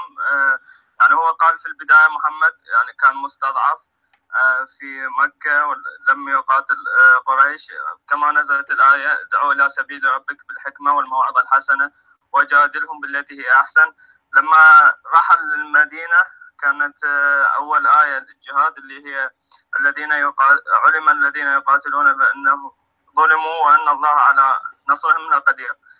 فمر الجهاد يعني بأربع مراحل إلى أن وصل للمرحلة الرابعة اللي هي أو الأخيرة وقاتلوا المشركين أينما وجدتهم كافة. هنا ذكر نبينا بس أنا لاحظت نقطتين. النقطة الأولى يعني أود إنه بس يركز عليها إنه في الفقه عندنا حديث النبي يقول يعني قصدي حديث محمد يقول في السنة قال أبو بكر قال النبي الإمام من قريش يعني لو حطيناها في وقتنا الحالي من هو الإمام؟ يعني من قريش في عندك بس ثلاثة. اللي هو ملك الأردن وعندك الخامنئي أو أبو بكر البغدادي. يعني ركز لا آل سعود ولا حكام قطر ولا الإمارات. نعم. الأخيرة اللي هي إنه نحن كباحثين يعني نختلف في محمد قبل قبل الهجرة. يعني محمد في مكة.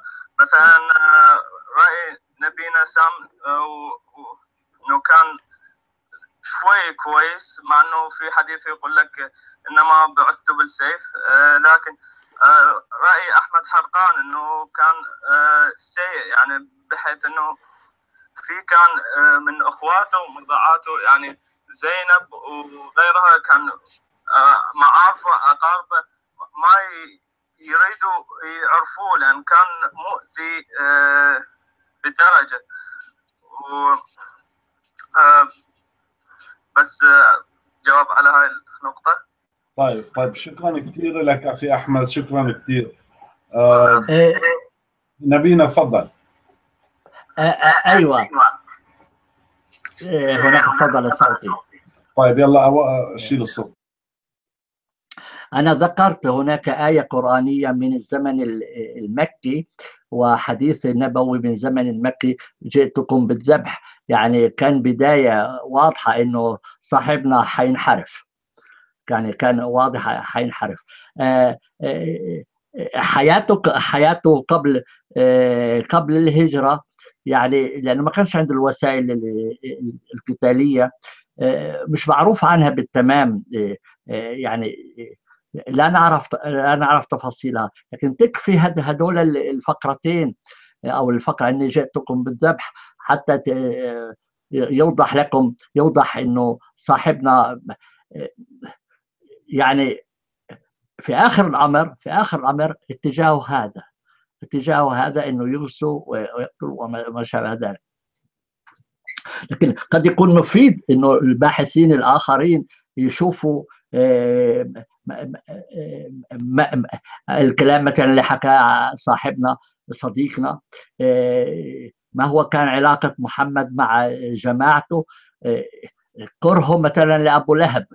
لأبو لهب وطريق تصرفات. بس هذه السيرة النبوية يجب إعادة قراءتها ونشوف مدى صحة يقول لك إنه النبي لا كان ده معصوم وما كانش ما يخطأ ما كانش يخطأ ابدا ولا شيء. ما نعرفش ما نعرفش لكن الغزو كتب الغزوات والسيرة ما بعد بعد الهجرة هي واضحة إنها يعني ليست في صالحه. ليست في صالحه. تفضل. طيب النقطة الثانية يا أحمد أنا بصراحة ما فهمت جبت سيرة ملك الأردن والعالم هي. أنا بصراحة ما كنت مركز معك. إذا بتقدر تعيد لنا إياها؟ أكمل نقطة عندي وهي ما راح تستغرق 30 ثانية وراح أرجع لها. تفضل. إنه المجاهدين المراقبات في عندك على الأرض اللي هي الحور العين والسبايا وعند إذا استشهد يعني إذا مات عندك الحور العين يعني 73 حورية وإذا كان متزوج وحدة يتضاعف العدد إلى آخره. المحصنات ومن النساء ما ملكت إيمانكم.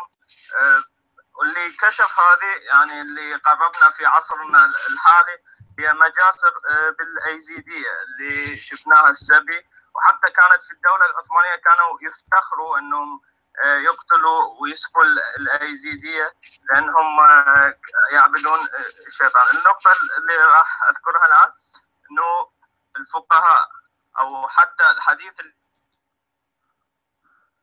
في يعني عند البيعة قال الإمام من قريش. يعني بمعنى أنه يجب أن يكون من قريش. في عصرنا الحالي ما عندنا غير ثلاثة اللي هو أبو بكر البغدادي ما بعرف يمكن يكون يعني من قريش أو سيد وعندك الخامنئي وملك الأردن اللي هو هاشمي. فعلى حكم المسلمين يعني هنا كل تسقط كل حكم آل سعود أو حكومة المغرب حكومات قطر كلها تكون ولا بشار هذا اللي كنت ذكرته أها. أها. نعم. هنا هنا في الواقع مثلا ملك الأردن بيعتمد على نسبه. الخامنئي كان يعتمد كمان مثل هدول العمامات تاعونهم يحطوا لون أسود ولون أبيض بيعتبروا إنهم لهم علاقة مع النبي محمد والبغدادي اخترع له نسب. كما كذلك أمير المؤمنين في المغرب اخترع له نسب إنه من من السلالة النبوية ما تدريش ما حد ما حد يدري بالواقع بالواقع من من هو الأقرب. ربما أنا محمد واحد من أجدادي آخر الأمر فأنا أطالب بالخلافة بالحالة هاي. أطالب بالخلافة. وأنت نبي يعني أنت نبي نبينا ف صحيح يعني شو حطوك على الكرسي. صحيح صحيح صحيح صحيح. ما إحنا وياك قاعدين على نفس الكرسي هو هو نبي بزمنه أنا نبي بعصري ومثل جان النبي في لندن ومثل هيك. والنبي إسماعيل نبي في في مصر. كلهم الأنبياء. طبيعة الحال إذا رجعنا للفقه الإسلامي بنشوف إنه إنه إذا يعني شرعية الحكم إذا كان هم لازم يكونوا من قريش ما ظل حد ما ظل حد يعني للأسف هو اللي صار في اللي في العراق إنه العائلة الهاشمية تم القضاء عليها وربما كان هو أفضل من الحكم اللي اجى بعده ما تدريش. وأنا الملك الأردن في الواقع ما عنديش أي عيب نحوه ولا استعيب لا بل اقدره يعني بعض مواقفه فعلا فعلا تقدر. لكن المهم هو حرية المعتقد وحرية الناس والمساواة بينهم. يا للأسف كل هدول الدول اللي تنسب إلى النبي محمد لم تلتزم حتى بوثائق حقوق الإنسان اللي بيقولوا إنهم وافقوا عليها أو ما وافقوا عليها. شو أنا بهمني؟ تكون عصاميا ولا تكون عظاميا. هذا هو الأساس. تفضل. طيب معنا متصلة الأخت وردة خلينا نقول. تفضلي أخت وردة. بس كنت عايزة سلام سلام سلام. كنت عايزة أتابع الحلقة بس يعني أسمع. ما شايفة ما شايفة حاجة يعني ما ما متابعة ما شايفة. طيب طيب موضوعنا هو موضوعنا عن الجهاد ومفهوم الجهاد بالإسلام. إذا في عندك أي شيء تقولي؟ خلاص ممكن أتصل بعد شوية. بس عايزة أسمع okay ما okay. يهمني أختي أختي نبينا سامي بدي احكي معك تفضل. أختي وردي. هلا الحلقة هي مسجلة وفي تعليقات تحت فإذا عندك تعليقات ممكن والإيميل تاعي موجود فإذا حابة برضه تسألي بعض الأسئلة أنا تحت تحت تصرفك. وان شاء الله في الأسبوع القادم حيكون حلقات أخرى. أتمنى مداخلاتك. تفضل. أكيد أكيد. أنا أنا بتشكرك أختي ورده على كل حال يعني ممكن حلقات الجاية تتصلي وتعطي رأيك بكل حرية يعني. وعلى فكرة مثل ما قلتي يعني الاسم ما هو مشكله الصوت بس الصوت يعني ما أظن يصير أي شيء. أنا بتشكرك كثير أختي ورده شكرا شكرا على تسلمي تسلمي. ونحن في انتظار ونحن في انتظار مشاركاتك في الحلقات القادمة على كل حال. أه كثير طيب في عندي سؤال أخ أه نبينا من بس دقيقة واحدة هي والسؤال وين صار؟ هو السؤال عم بيقول نبينا سامي هل تعتقد أن الإسلام سيبقى في شمال أفريقيا؟ بصراحة أنا ما عم بشوف السؤال بالضبط بس بتذكر السؤال. أوكي. أه حاليا حاليا حاليا في شمال أفريقيا اللي أنا بتصل فيهم وهم وقت قصر هم من أصل أمازيغي. ومعروف الشعب الأمازيغي كلمة أمازيغي يعني الشعب الحر.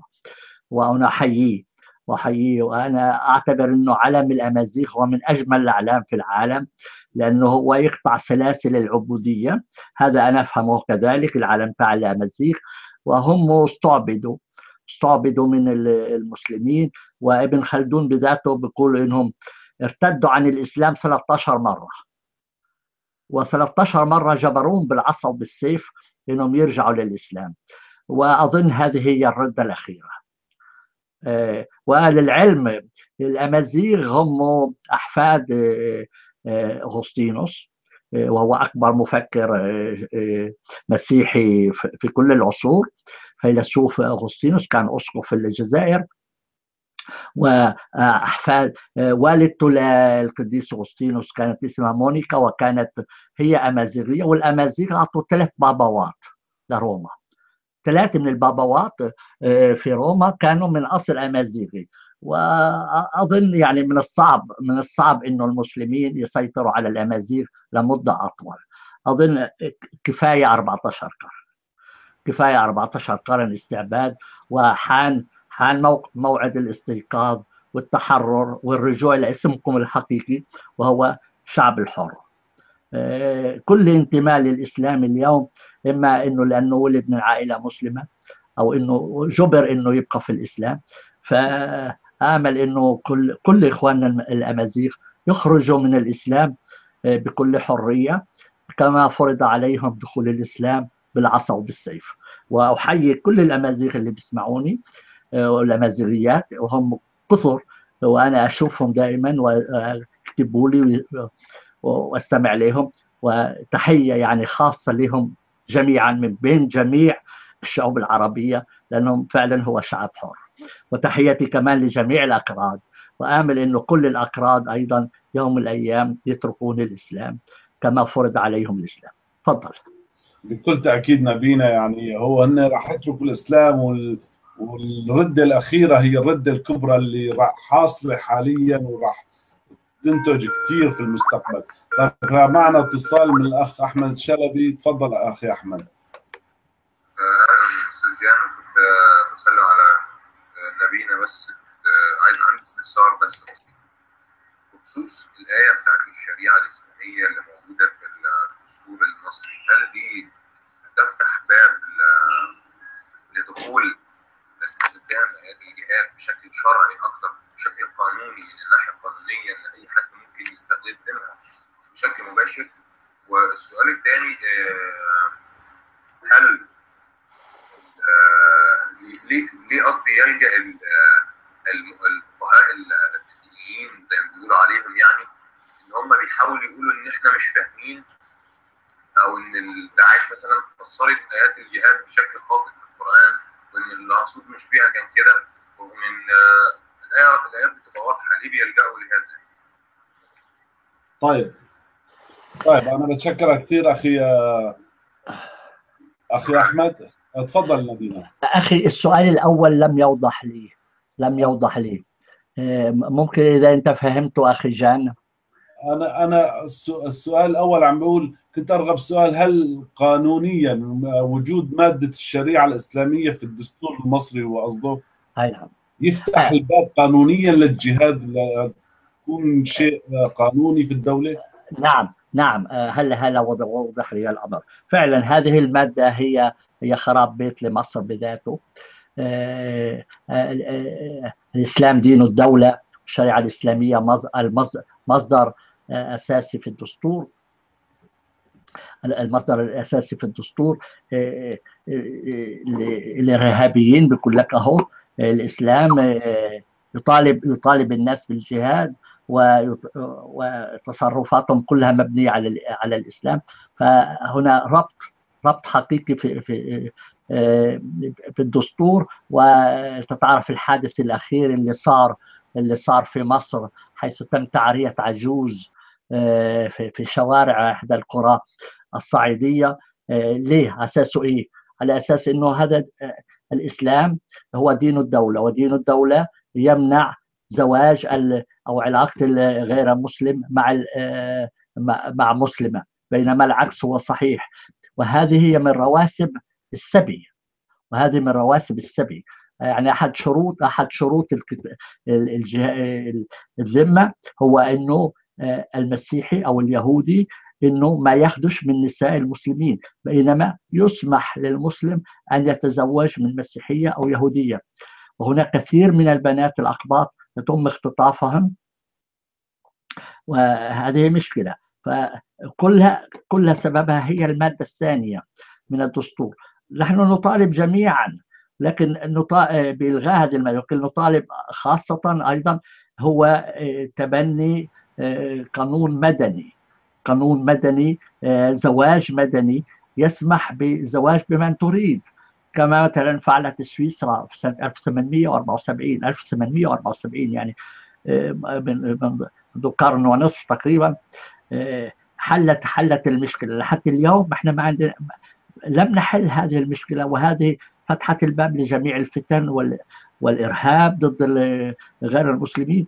وعدم وعدم اندماج المجتمع. يعني التعايش بين الطوائف الطوائف المسيحية والإسلامية هو على أساس الذمة وأساس الذمة هو هو مصدر هو واحد كما قرأنا إنه في الجهاد يخير الإنسان بين ثلاث أشياء إذا ما كانش مسلم إما يصير مسلم أو إنه يخضع لنظام الذمة ونظام الذمة داخله داخله إنه لا يعطى جميع الحقوق.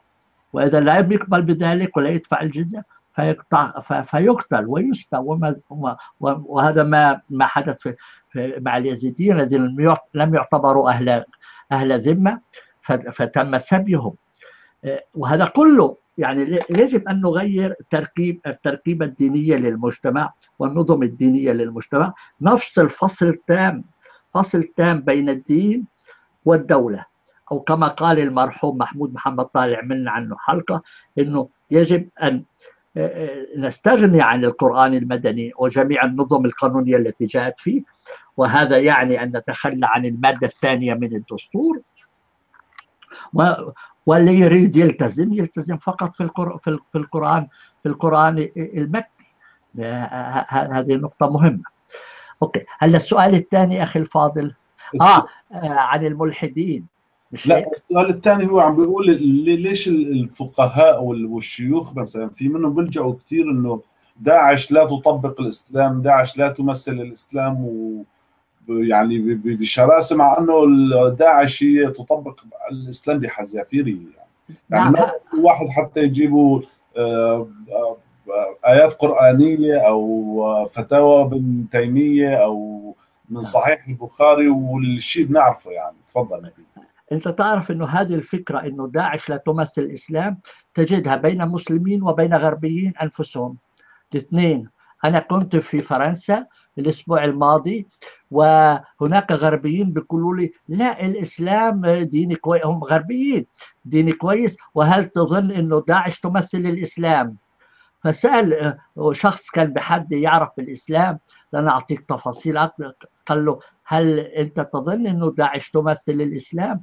قال له كل مسلم ممكن يكون داعشي وما تقوم به داعش لا يختلف بتاتا عما قام به محمد وما جاء في تعاليم القرآن وجاء في السنة وجاء جاء في كتب الفقه. وأنا في كتابي عن الجهاد تعمدت للغربيين أن أنشر نص ابن رشد لأنه ابن رشد يعتبر فيلسوف تنويري بينما هو لا تنويري ولا كشل ولا شيء. ده كلام فارغ.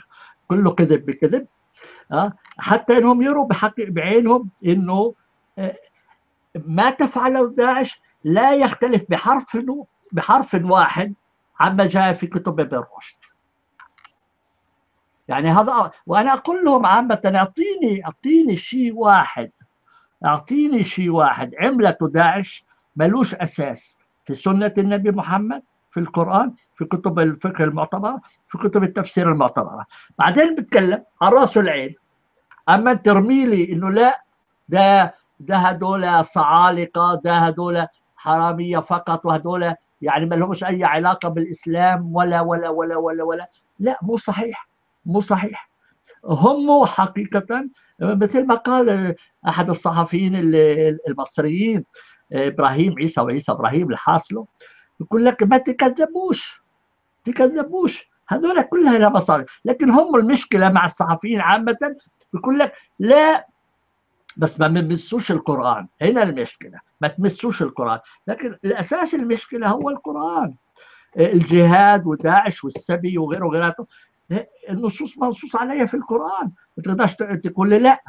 الغربيين جهال وال وال وال والمسلمين اللي بيدعوا هيك بحبوا يعملوا دعاية فارغة. مثل قلت لك هذا الداعيه الجزائري الموجود في سويسرا يقول لك الإسلام لم يدعو ابدا إلى العنف. إزاي بقى تكذب على الناس هيك؟ والصحافة توزع مقالاته في كل البيوت الموجودة في سويسرا تكذب على الناس. ولما يجي واحد يحاول يرد عليه يمنعوه. هنا المشكلة هنا المشكلة. الكذب لا يوصل إلى أي نتيجة. الكذب لا يوصل إلى النتيجة. نحن نريد الصراحة. هلا أخي إحنا الكلام اللي بنحكيه هنا أنا وإنت أخي جان ليش مثلا التلفزيون المصري ما بيذيعه ليه مثلا ج... إيه شو اسمه قناة الجزيرة ما بتذيعه ليش؟ ليش مثلا ال... ال... القنوات الفرنسية ما بتذيعه ليش مثلا الصحافة الفرنسية المهمة أو السويسرية المهمة ما بتذيعه بترفض. ترفض. طب هذا العمى. يعني إلا نظل مربوطين بحلقات صغيرة بطبيعة الحال. يعني هذا هذا فخر لك أخي جان إنك تسمح ببرنامج مثل هيك. بس صوتنا غير مسموع. لا يريدون الحقيقة. إنهم يخ... إنهم يخافون الحقيقة. إنهم يخافون الحقيقة. وما دام أنت تخاف من الحقيقة ما فيش تقدم ممكن. لا هو لصالح المسلمين ولا هو لصالح الغربيين. تفضل. آه طيب أنا أصدقائي بعتذر كثير عن إذا في أي تعليقات ما استقبلناها أو أي تليفونات آه قصدي سكايب. آه طيب نبينا نحن صار تقريبا ساعتين إلا شوي فما بدنا ننتقل عليك أكثر من هيك. الحلقة القادمة شو بتحكي لنا عنها؟ اللي تريد ممكن الحلقة القادمة نتكلم عن الجزية. الجزية. الجزية في الإسلام. ما معنى الجزيه؟ هي مرتبطة بالحلقة الآتية أو إذا أنت تريد ممكن ناخذ موضوع الزكاة اللي أنا كتبت في في في كتاب مثل ما تريد. يعني أو موضوع الردة الردة إذا خلي خلينا على موضوع الجزية لأنه موضوع كثير مهم بصراحة موضوع الجزية. ف... okay. okay. هذا هذا هذا أنا أيضا أرى مهم؟ حاليا أنهي كتاب بالفرنسي؟ عن الجزية. وهيك نحاول برضه نترجمه للعربي إذا سمح لي الوقت بذلك. إذا خلينا إيش أنت تحب يوم الخميس القادم مثل ما تعودنا؟ ما بعرف إذا بتحب يوم الأحد أنا لأنه آه منيح منيح يوم الأحد بنفس الوقت ممتاز.